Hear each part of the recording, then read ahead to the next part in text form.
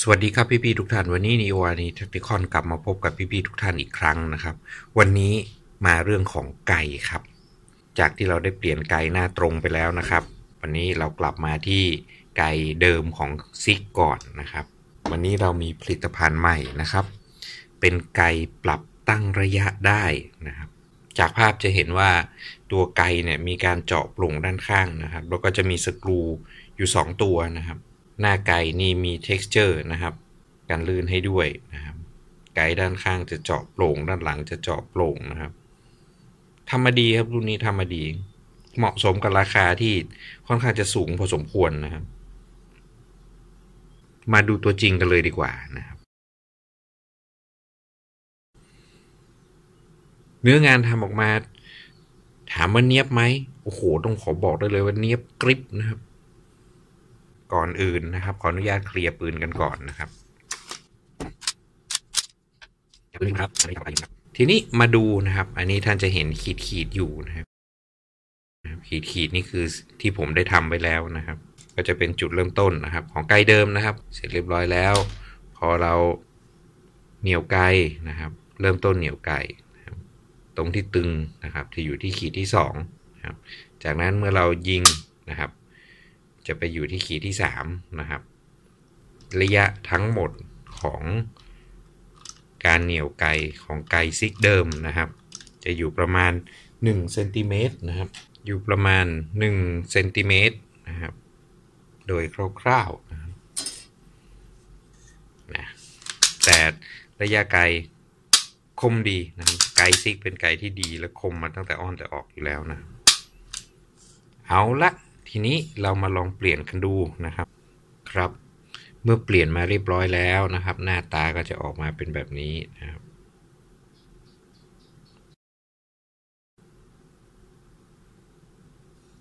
ดูอีกด้านหนึ่งนะครับเออดูแข็งแรงดีนะ ดูแข็งแรงดีครับ ดูธรรมัดทแมงดีนะครับ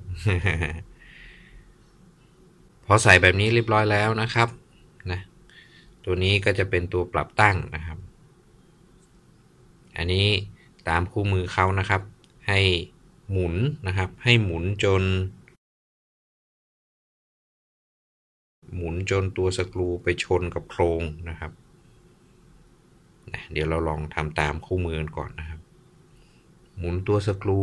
นะครับ จนไปชนกับโครงนะครับ เอา พอแตะพอนะ พอดีนะครับ เสร็จเรียบร้อยลองประกอบกลับกันก่อน อันนี้ไกลเดิมนะประกอบครับ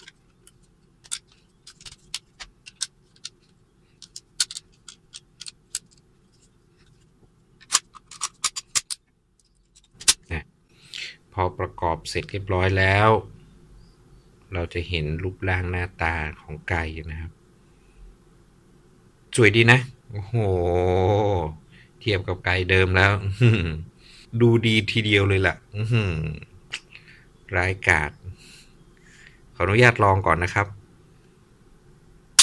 โอ้โห นี่ยังไม่ได้ปรับตั้งอะไรเลยนะ นี่ยังไม่ได้ปรับตั้งอะไรเลยสักอย่างเลยนะครับ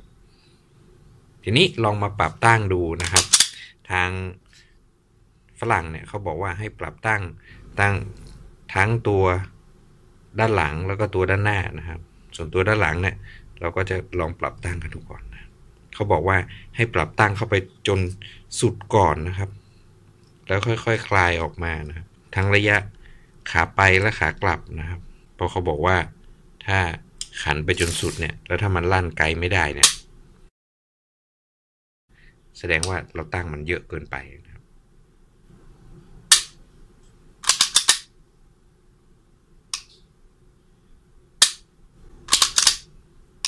เดี๋ยวขอตั้งอีกนิดนึงถ้าถ้ามันตึงแบบนี้แสดงว่าลั่นไกลไม่ออกนี่แสดงว่า ตึงมากเกินไปครับ ถอยก่อนถอยก่อน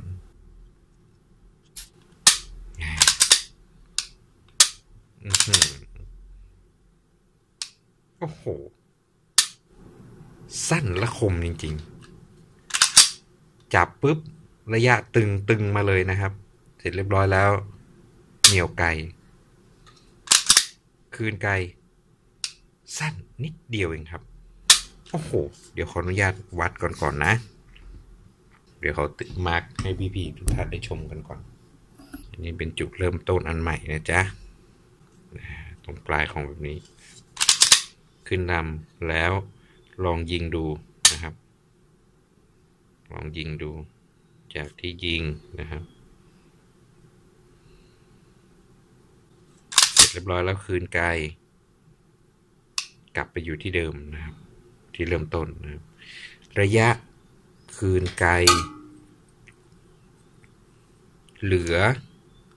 ศูนย์จุดเหลือครึ่งเซนนะครับ ระยะคืนไกลเหลือครึ่งเซนนะครับ ไกลไกลไม่มีวืดเลยนะครับ จับปุ๊บเนี่ยจับปุ๊บเนี่ยระยะพรีก่อนลั่นเนี่ย จะแทบจะไม่มีเลยนะครับ อันนี้คือลำแล้วนะครับ ระยะพรีก่อนลั่นเนี่ยจะไม่มีเลยนะครับ จับปุ๊บตึงเลยนะครับ ตึงเสร็จเรียบร้อยลั่นเลยนะครับ ลั่นเสร็จเรียบร้อยแล้ว คืนนะครับตึงเลยนะครับ ไม่มีระยะไม่มีระยะฟรีแล้วนะครับ ไม่มีระยะวืดเลยนะครับ จับปุ๊บตึงลั่นนะครับ คืนไกลโอ้โห มดีจริงๆโอ้โหของเขาทำมาดีนะเขาทำมาดีต้องชมเลยละงานนี้ น้ำหนักไกลเบาลงเยอะเลยนะเนี่ยเดี๋ยวค่อยวัดให้กันดูอีกทีหนึ่งนะครับ พี่ๆจะได้ติดตามชมนะครับว่าน้ำหนักไกลแล้วเหลือเท่าไหร่นะครับ ทดสอบน้ำหนักไกลนะครับ ไกลหน้าตรงเจาะโปร่งนะครับ ตึง ลั่น ตึง ลั่นครับ ลองดูนะครับน้ำหนักไกลจะเหลือจะมีเท่าไหร่นะครับ วัดกลางไกลนะครับ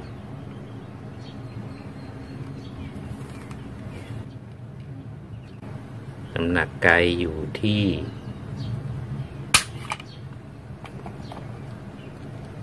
สี่ปอนนะครับ โดยประมาณนะครับอีกครั้งนะครับ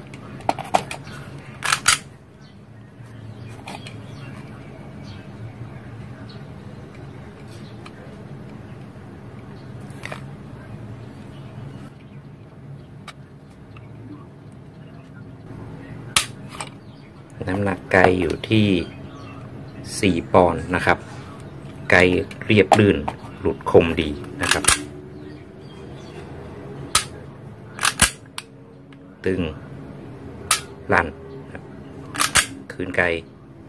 สั้นครับ เป็นผลิตภัณฑ์ดีๆ อีกอันนึงนะครับ จากทาง Neo a n i Tacticon นนะครับ อีกทีนะตึงคม เป็นผลิตภัณฑ์ดีๆอีกอันนึงนะครับ จากทาง Neo a n i Tacticon นะครับ วันนี้ลาไปก่อนครับ สวัสดีครับ